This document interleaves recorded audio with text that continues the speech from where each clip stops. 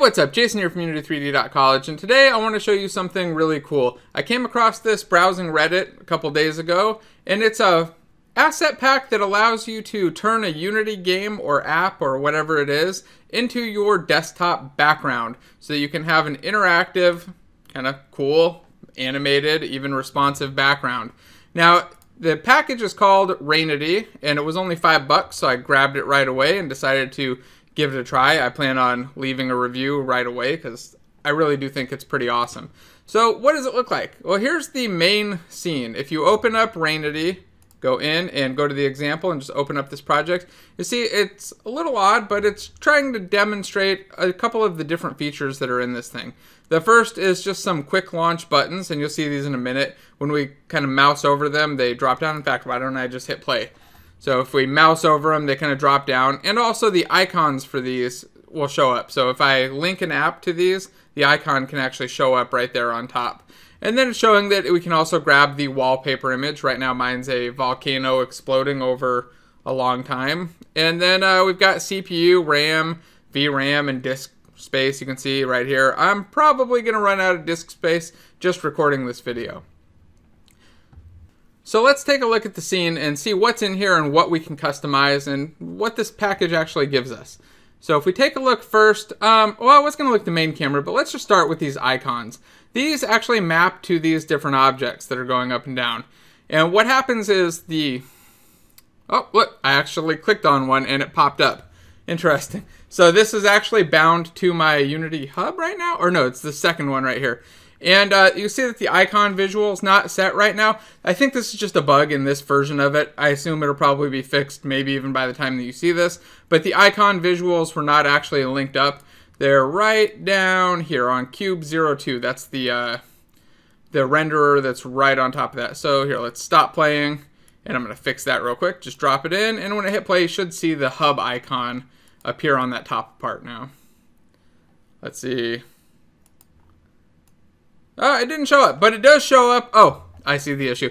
One other thing that I came across was that uh, quotes around the paths do not work right. It bugs out uh, loading the icon, puts an extra backslash there. Not sure why I didn't really spend the time, but there you go. Now you see that the icon is showing up. And I can do that for all of these, or we could put in any other kind of uh, program launcher or icon little thing that's interactive and does this. These are really just simple game objects with a very simple script on them. And then we have the CPU usage stuff all under this main camera. So if I go to main camera, expand out the canvas, you see that each one of these, I can even turn them on and off. That's the CPU usage one. Uh, there's the RAM, VRAM, and the disk space.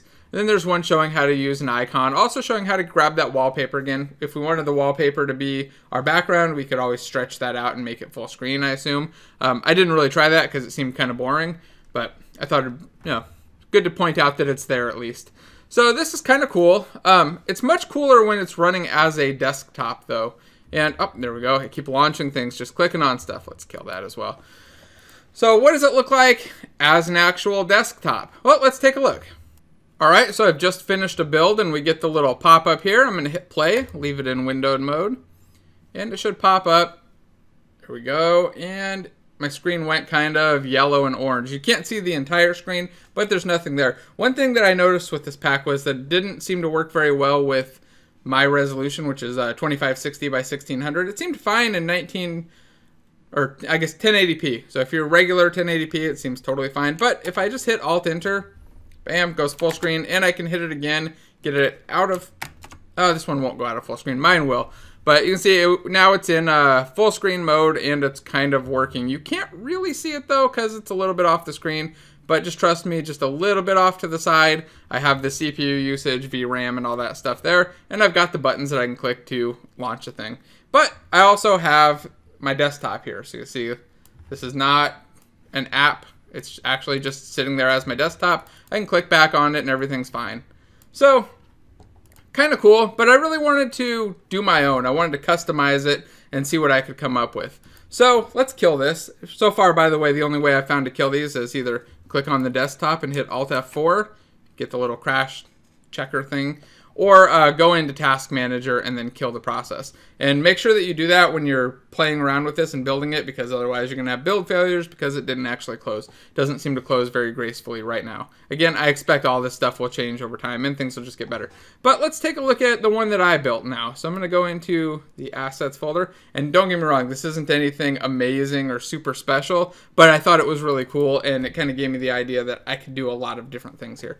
So here you see I've just moved these up to the top and I'm not even going to play in here because I want to show it on the desktop. I'm going to move my particles scene up. And I also want to point out that this only took a couple minutes to build. It's extremely simple. All we have to do is add that Rainity script, which I'll show in just a moment, and then uh, do a build. Everything just kind of works. So let's see. Let's get it launched. Did it start? Oh, it's about to start.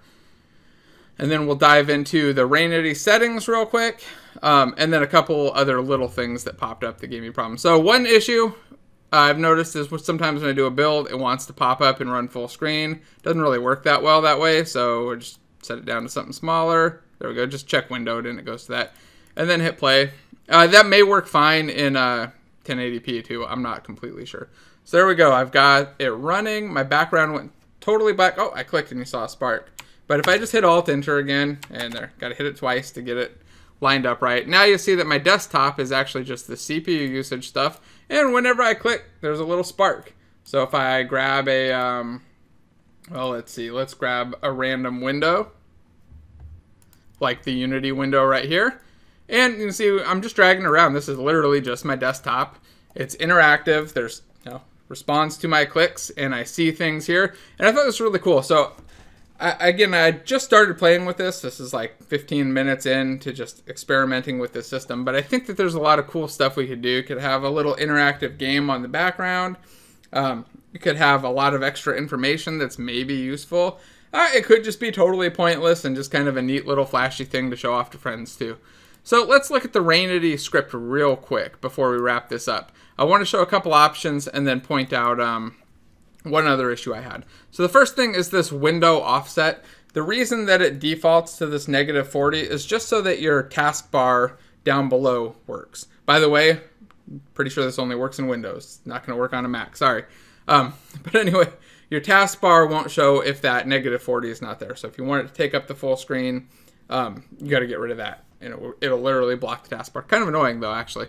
Uh, but it's supposed to be zeroed out if you use this behind icons checkbox. Unfortunately, every time I've used that, the app just launches and instantly crashes, like silently just goes away. Again, I'm guessing that it's probably something that'll be resolved relatively quickly, and I may just reach out and ask for some support and figure out what I'm doing wrong or if there's an issue there or some other configuration problem causing it.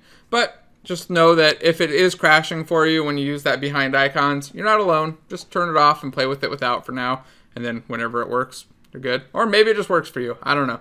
Um, some other options. Hide from taskbar just keeps it from showing up down in that taskbar below, but you do get to see it in the tray, which I thought was really cool. So you can actually add in a tray pop-up for it with your own little menu items and have it do whatever you want to do. I, I thought it was kind of neat, and it's a good way to demonstrate how to set up those trays um, for other games and other apps.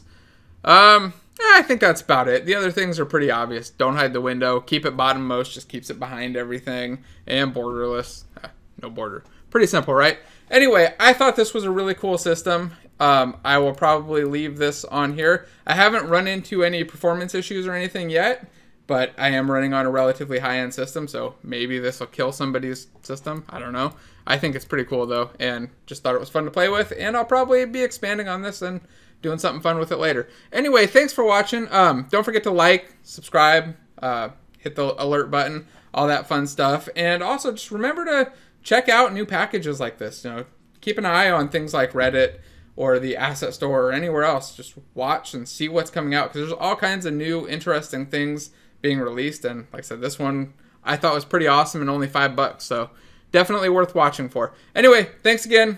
Uh, keep coding and bye.